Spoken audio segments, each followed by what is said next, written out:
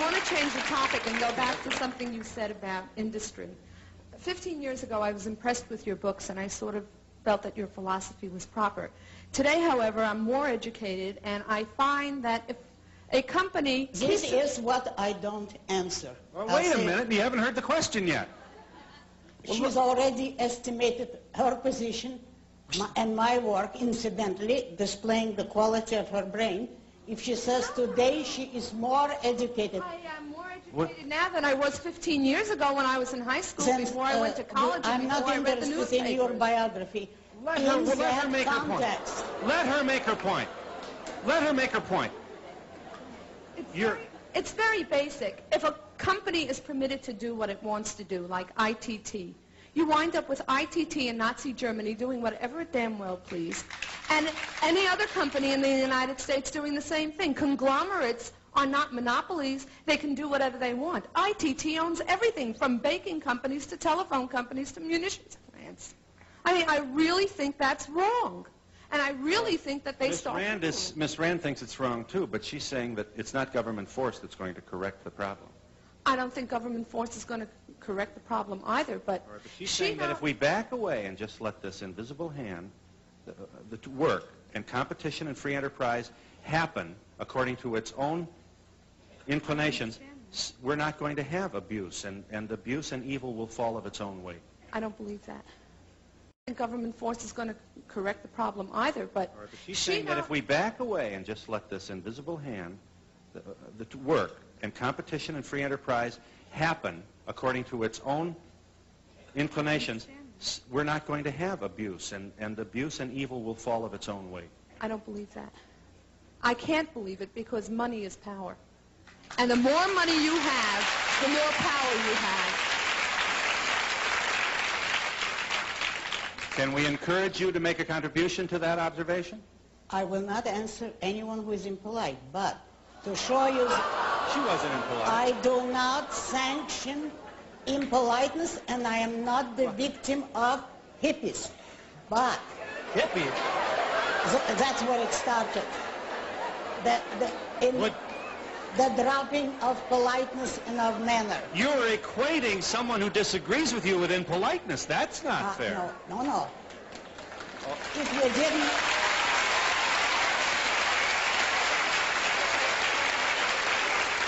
if, you didn't interrupt me, I would have demonstrated what I mean. I will, to show you that I'm not evading the question, if anyone else wants to ask the same question politely, I'll be delighted to answer. Well, there was nothing impolite. You are punishing this woman for the vigor and energy that Well, she brought you- to the dialogue. The and that's not fair to her. If she this is the kind of woman we spend a long time trying to attract to our television audience. And now you are... Now, Then, fine. okay, just for I this... teach her some manners. I will now Miss repeat Rand- what she said. Miss Rand. She said, I used to agree with you, but now that I'm more educated, what does that mean? Well, that means she now has a different view. There's nothing personal about that observation. Don't be so sensitive. I am going to be. I intend to be. We're in New York City with Ayn Rand, and we'll be back in just a moment. But I want to answer the preceding question. Doesn't anybody want to ask Oh, it sure. politely? Yes. Uh, uh, your question... Your question asks this audience to agree with your assessment of the questioner, and I don't think they will. That's the problem. All of them? That, then why do they Uh, Well, want to that's true. I listen to me at all? All right, does anybody, does anybody want to ask the... Yes. Do you want to... All right. Hang on just a moment. Come on. You want to stand? I'm surprised that someone with the intelligence of Miss Rand can be so emotional in her approach. I can answer you. I didn't come here to be judged. I came here to answer questions. A question asked in the following form.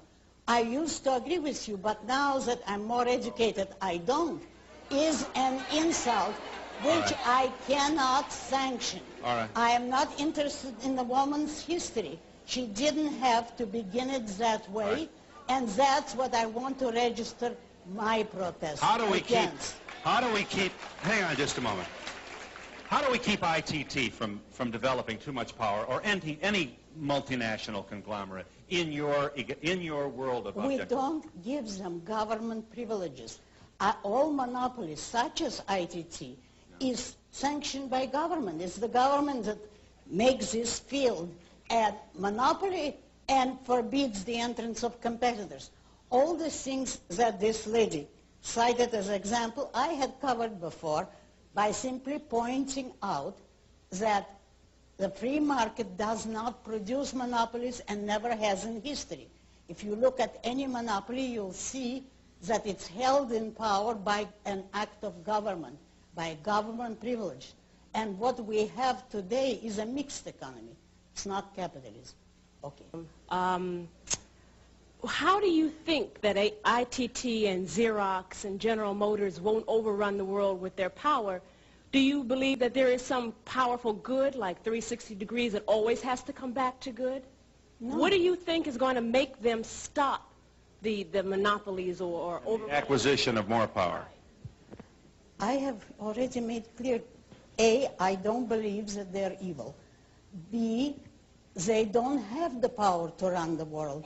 Money is not power in the political sense. You cannot buy control. But it's power in the practical sense. I mean, if you have to pay $5 a gallon to get to, to, to work, a dollar and a half for a head of lettuce, your children have to eat, they have to be educated. Our system has set it up that you can only get a good education if you're willing to pay for it.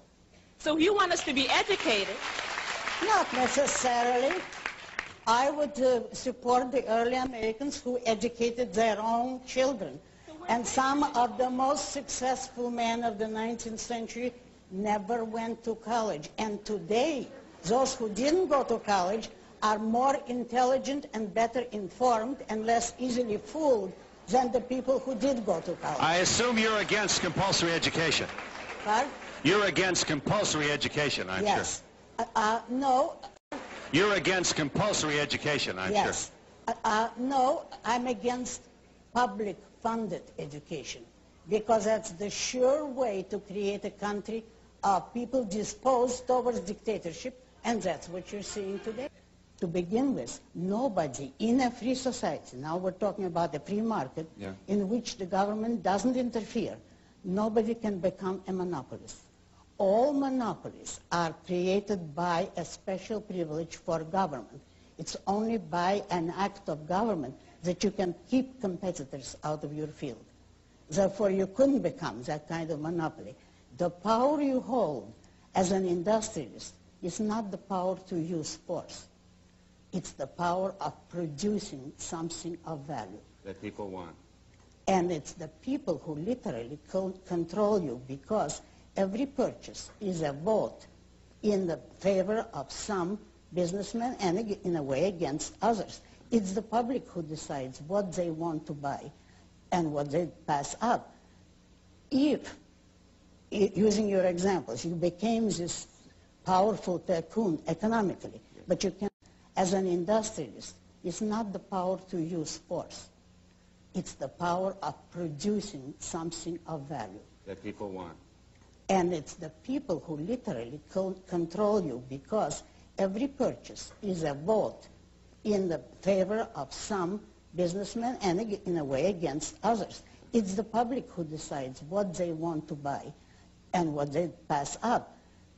If, using your examples, you became this powerful tycoon economically, but you cannot force anybody to deal with you, and you cannot force competitors out of your field, then every smaller man would be in that field because you would have established a price way above the market.